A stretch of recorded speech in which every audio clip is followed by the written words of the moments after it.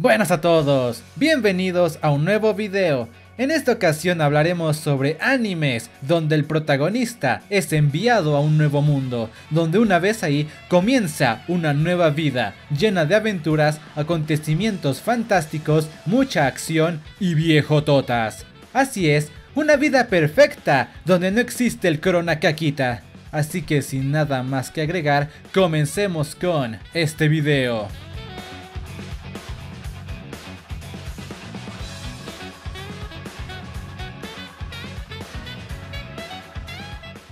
Death March Kara Hajimaru Isekai Kyosokyoku. La historia se centra en Ichiro Suzuki, un programador de videojuegos que, un día después de trabajar, decide tomarse una siestecita. Todo bien hasta ahí, pero el problema es que cuando despierta, ahora se encuentra dentro del videojuego en el que estaba trabajando. Así es, imagínate que estés jugando videojuegos y despiertes dentro de uno. La verdad, sería horrible. O sea, si despiertas en un juego con monas chinas, bien. Pero imagínate despertarte en, no sé, Mortal Kombat. En este caso, prepárate para que te saquen la chucha. Después el prota conocerá a las viejototas de su harem, en donde hay tipas mitad humano, mitad animal. Por ejemplo, esta Loli es mitad humana, mitad perro, por lo que podríamos decir que esta chica es medio perra, ¿no? Pero además, hay mucha acción en este nuevo mundo, por lo cual no hay nada que envidiarle al Mortal Kombat. O bueno, tal vez solo la sangrecita. Kenja no Mago.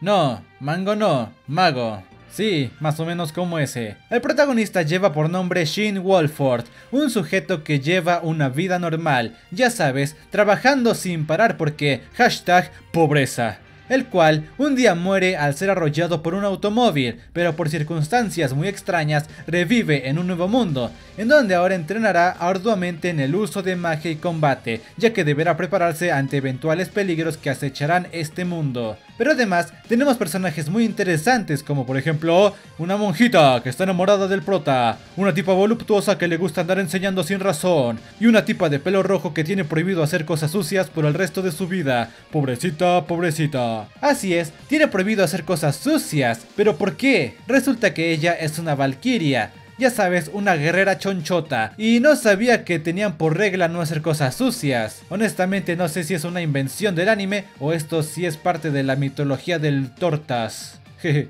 si entendiste, ¿no? Tor, eh, Así, veremos mucha acción, magia y monjitas. ¿Qué más puedes pedir? Tensei Shitara Slime Data Ken el personaje principal es Satoru Mikami, un sujeto que, un buen día, muere apuñalado por un ladrón. Sí, solo por eso murió. Ay, no aguantó una puñalada, qué débil. Después, revive en un mundo diferente, y así de la nada, se cambia de nombre. Ahora el prota se llama Rimuru Tempest.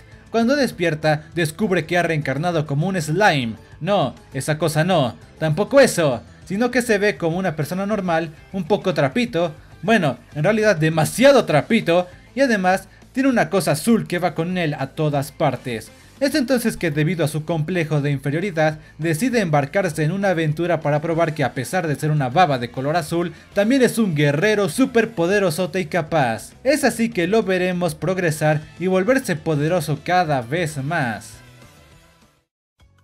Arifureta Shokogyu de Sekai Saikyo. La historia se centra en el estudiante Hajime Nagumo, quien constantemente sufre de los maltratos de sus compañeros de clase, o sea, sufre de bullying.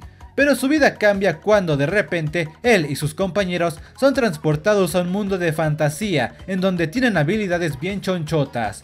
El prota, con sus nuevos poderes, decide probarse a sí mismo y conquistar las distintas mazmorras y derrotar a los enemigos que hay en todo este mundo. Pero además, durante su camino, encontrará viejototas con diversas particularidades, como por ejemplo, tenemos una tipa mitad humana, mitad conejo, la cual anda por ahí casi como Dios la trajo al mundo. Pero bueno, aparte de eso, el anime tiene mucha acción, así que acción y viejototas tal vez te mantengan enganchado a este anime, pero si no... ¡Felicidades! Log Horizon. Este es otro anime de videojuegos, donde el prota es enviado, en este caso junto con muchas personas que ni siquiera conoce, a un videojuego de fantasía y aventuras. El personaje principal se llama Shiroe, un jugador especializado en magia y en lanzar hechizos al estilo Linguarium Leviosa o como se pronuncie. Al ver que no puede salir de este mundo, decide entonces crear un gremio junto con otros jugadores para así superar retos y matar a cuanto malviviente se cruce en su camino. Cada personaje tiene una especialidad, por ejemplo, hay guerreros, samuráis e incluso una loli asesina. Uy, uy, cuidadito, eh. Y bueno, también hay eh, gatos mutantes. Claro que sí. Dentro del juego veremos cómo los jugadores tendrán que aprender a vivir en este mundo donde no hay reglas y todo puede suceder. Con el tiempo, el gremio de Shiroe empezará a crecer y se convertirá en uno de los grupos más poderosos del juego y uno de los más únicos. O sea, solo mira, el gremio tiene un gato que hasta se va por la despensa. Ah, ¿dónde consigo uno así? Isekai Cheat Magician el protagonista es Taichi Nishimura, un estudiante que, un buen día común y corriente, se dirigía a su escuelita junto con su amiga de la infancia. Todo tranquilo y bien hasta ahí, pero de pronto, ¡Oh my fucking god!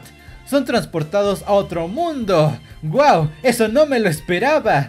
Este mundo está lleno de cosas fantásticas, magia y batallas sin igual. Al inicio los personajes llegan a este mundo como unos debiluchos, pero después entrenan en el uso de la magia y se volverán muy poderosos.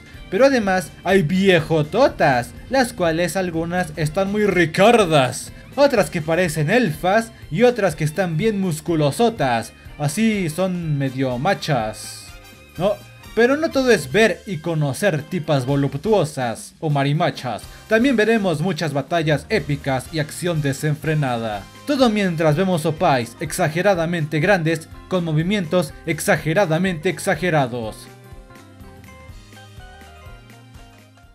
Y estos fueron algunos animes en donde el prota está en otro mundo porque no sé, tal vez se drogó o quién sabe. Si te gustó el video no olvides en dejarme un like y seguirme en las redes sociales para estar en contacto. Puedes seguirme en Facebook e Instagram, redes en las cuales contestaré todos tus mensajes y así podrás acosarme Agustín. Los links están abajo en la descripción.